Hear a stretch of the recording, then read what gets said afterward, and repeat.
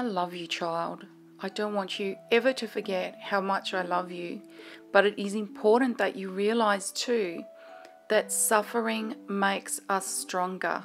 By allowing my children to go through hardship, I shape them and mold them.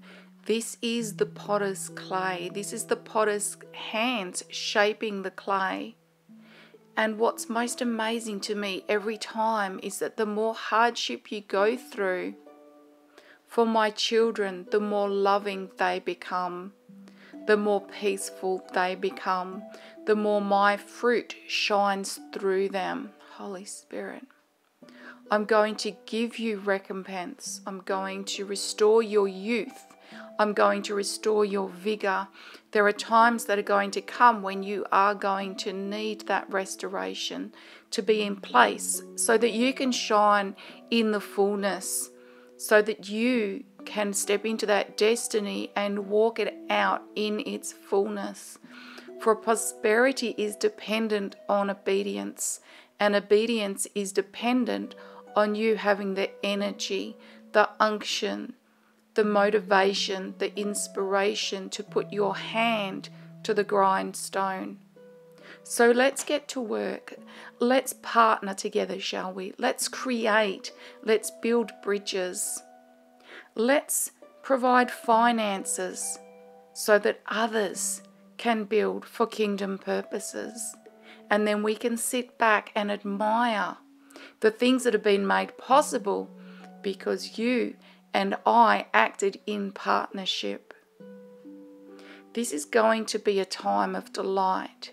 This is going to be a time of fulfillment because there is nothing more fulfilling than to see the manifestation of my promises over your life.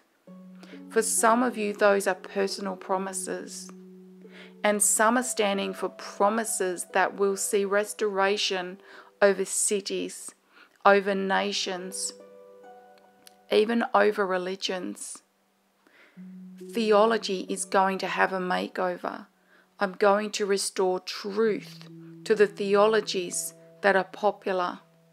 And I'm going to see to it that the lies are exposed for what they are and are thrown out by my church members because we are no longer going to tolerate hypocrisy. There are things that I have in store for you that I can't share in this present moment. Keeping things a mystery affords you protection. So just be in joyful expectation of the great things yet to be made manifest by my hand. I love you, child. Don't ever doubt that I love you.